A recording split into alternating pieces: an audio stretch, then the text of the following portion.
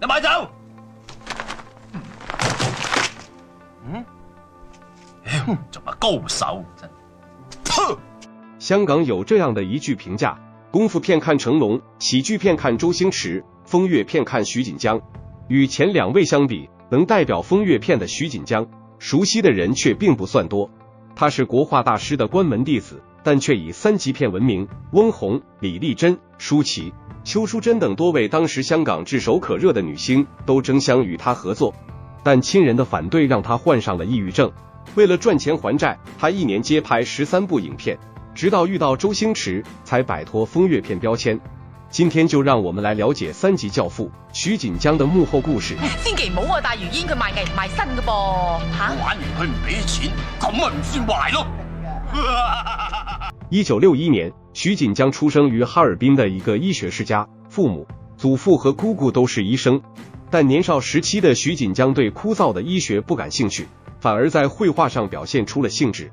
当时徐父赴港行医，和关山月正好是世交，于是徐锦江便有机会学习中国画，还拜入了关山月的门下，成为其入室弟子。在师傅的指导下，徐锦江成功考入广州美术学院。本该他的艺术生涯一片坦荡，可没想到的是，八十年代初父亲的突然离世，打破了原有的幸福。除了亲人离世的痛苦，经济压力才是他们面临的最大难关。作为家里唯一的男孩子，徐锦江自然要承担起家里的重担。于是他想到了举办画展，希望能通过自己的画来获取一定的收入。可能是因为当时手法太过稚嫩，观众根本不买账。眼看着画展行不通，姐姐就帮他想了另外一条路，给他报名了无线电视艺员训练班，想让他进入演艺圈。于是徐锦江便和刘德华、梁家辉成了同班同学。而上学期间，他也没闲着。为了补贴家用，他做过模特，当过夜店的驻唱，还经常在电影里跑龙套。毕业后，徐锦江正式的进入了演艺圈，但是因为他长相较凶，经常出演的都是一些坏角色，没能有很好的发展。而此时同班的刘德华已经获得无线的力捧，出演《天若有情》，成为无线五虎将的一员。一九八七年，在底层娱乐圈打拼了六年的徐锦江。在陪母亲回美国的途中，遇到了著名导演麦当雄和麦当杰兄弟。两兄弟说有一部电影要开拍，问他有没有兴趣。徐锦江当时也不知道这两人到底有多出名，只听说有戏拍，就答应了。事后证明，这是一个绝佳的机会。电影名字叫做《省港机兵二》，徐锦江首次担任男主角李向东。电影上映后好评如潮，徐锦江还首次提名金像奖。这部电影也让他在娱乐圈站稳了脚跟。那是香港股市风头最盛的时候，徐锦江小有名气，赚了点钱，又将自己的全部身家一举投入了股市，赚得盆满钵满，一时风光无限。徐锦江体验了一段挥霍无度的时光。年轻人留不住太容易得来的钱，下雨天打不到出租车，他直接去附近的车行新买一辆，挂个临时牌就回家。堵车太久，他便把车丢在路上，再也不管。堵车车就不开，丢在路上就回家。做人家警察打电话来，嘿，徐先生，你的车是不是给偷了？年少轻狂并非过错，但现实总会给人迎头一击。一九八七年，股市血亏，徐锦江濒临倾家荡产，车子和房子都被银行收走，他只能租住在一个小房屋里，吃饭也只能去大排档和快餐店。由于害怕被人认出来，他吃饭从来不敢重复去一家餐厅。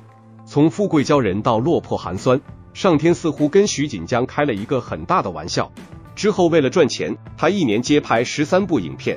而不久后的一个机会让他风头无量的同时，也把他推进了深渊。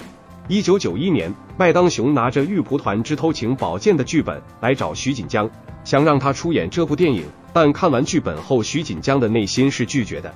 因为这是一部风月题材的电影片，但迫于生计，徐锦江迟只好在众多角色里挑选，最终决定出演一个还算不错的英雄角色。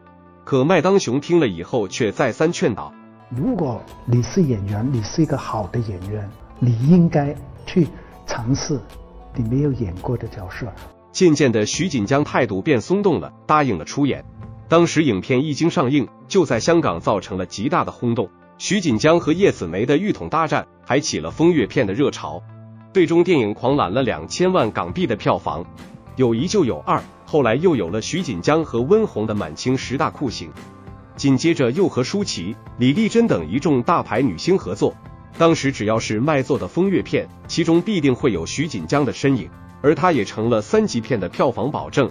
但让徐锦江怎么都没想到的是，当母亲得知他参演电影大火之后，直接带着亲朋好友前往电影院观看。怎料电影一开场，所有人都傻眼了。點解要要除衫啊？嗯嗯嗯，要俾全部人所有隔離人睇我除晒衫。随后一套写真集的发布，才是真的把他推上了风口浪尖。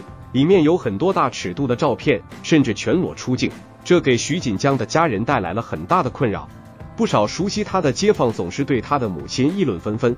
为什么他的孩子会拍这样的戏？为什么可以出写真集？他这样去说我妈妈。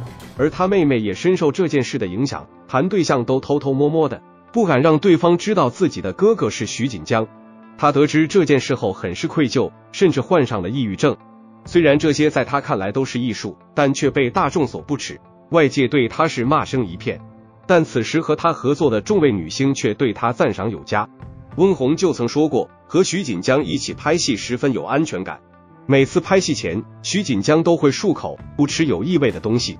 当身体出现生理反应时，他会立刻请导演喊卡。电影拍完后，不少女演员会写卡片感谢他，有的还和他成为了很好的朋友。因为嗰时 Tracer 其实好好人，同埋佢好 nice，嗯，好照顾我。所以徐锦江也被称作风月片里的绅士。虽说他是以拍摄三级片闻名，但对于现在的年轻观众来说，一说到徐锦江，第一时间想到的不是三级片的他，而是他与周星驰合作的《鹿鼎记》里的鳌拜，或者是《九品芝麻官》里的雷暴。其中饰演的鳌拜更是被誉为无法超越的经典，可以说能把风月片明星救出苦海的，也只有周星驰的喜剧电影了。揾到几多两份分啦？只多我要大份，你要细份。我要晒，又得啫。两部电影，徐锦江都是以白胡子、红帽子的造型，还被不少网友戏称为中国版的圣诞老人。别看徐锦江在影片中都是五大三粗的模样。但回归到他自己本身，却是一个喜欢哭的小公主。生活中呢，更是十分的依赖自己的太太，去哪里带着妻子，十分恩爱。而他和妻子的婚姻也是娱乐圈的一段佳话。两人从认识到结婚还不足一个小时，这比现在的闪婚更疯狂。一九九四年，徐锦江在咖啡馆休息，他偶然抬头，却被窗外一个身穿军装的长发女孩吸引。这不就是自己的梦中情人吗？立马让自己的助理去喊住那长发女孩，向她表明心意。